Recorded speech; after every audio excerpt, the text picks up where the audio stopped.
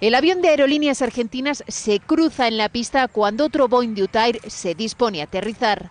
Al mando del avión ruso estaba este hombre, es el piloto Nikolai Limarev. Su destreza fue clave para evitar un accidente.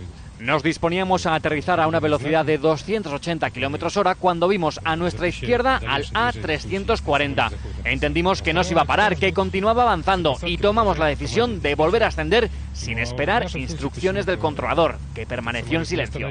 Para el copiloto del avión ruso, que también sufrió la maniobra de infarto, esos segundos de silencio fueron el motivo que provocaron el desconcierto en la pista. Así lo explica en declaraciones a un diario británico. El controlador de tráfico aéreo claramente se confundió, se quedó en silencio, así que no pudimos hacer otra cosa que realizar una segunda vuelta. Una imagen que ha dado la vuelta al mundo. El Daily Mail, The Independent o la BBC mostraban el instante en sus páginas web. Mientras Navegación Aérea busca responsables, AENA está analizando radares, órdenes y cámaras. Queda por saber quién se equivocó.